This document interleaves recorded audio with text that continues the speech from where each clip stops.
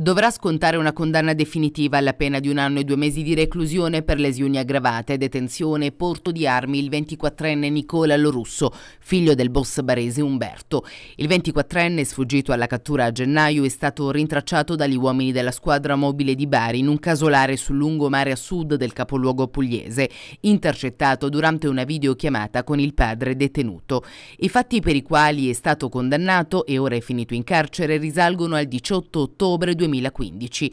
Lo russo ferì con colpi di pistola durante i festeggiamenti in onore dei Santissimi Medici a Bitonto, nel Barese, nei pressi del Luna Park affollato di gente, un pregiudicato del posto.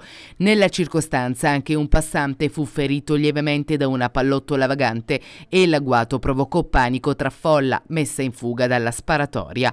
Per questa vicenda il 24enne all'epoca appena maggiorenne era già stato arrestato nel dicembre del 2017 ed in attesa di sentenza definitiva, era poi tornato in libertà. Per la sparatoria dell'ottobre 2015, maturata nell'ambito di scontri tra clan rivali a Bitonto per il controllo dello spaccio di droga in città, altre tre persone sono state già condannate e arrestate nei mesi scorsi.